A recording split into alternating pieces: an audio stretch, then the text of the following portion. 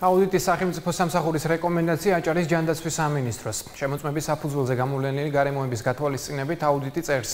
ემისთვის რომ ეკომიგრანტთა ოჯახების საცხოვრებლად უზრუნველყოფის პროგრამის ბენეფიციარები გონივრულად საკმარისი ფართებით დაკმაყოფილდნენ, სამინისტრომ ეფექტური მექანიზმი უნდა შეემუშაოს. აუდიტის მიერ გამოვლენილ გარემოებებში ასევე აღნიშნულია, რომ რიგი ოჯახები კვლავ სარგებლობენ სტიქიური განვითარების ზონაში არსებული საცხოვრისებით, რის გამოც სრულყოფილად ვერ ხდება ბენეფიციართა სიცოცხლის რისკების დაზღვევა და უსაფრთხო საცხოვრისით უზრუნველყოფა.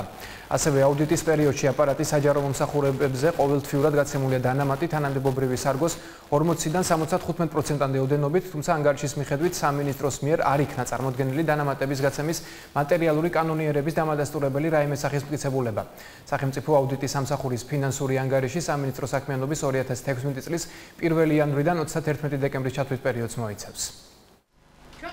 ჩვენ პასუხობ ფინანსურ მოდელს დასწრებული აზრი აქვს და ამიტომ ჩემი მინისტრის მოდელი ანალოგიური შენიშვნა სახელმწიფო აუდიტის მიერ მოცემული იყო 2015 წლის შრომის ანაზღაურების განხილვის დროსაც, როდესაც ჩვენი მხრიდან იქნა შეპასუხება გაგზავნილი 2015 წლის ფინანსური ანგარიშის დასკვნით.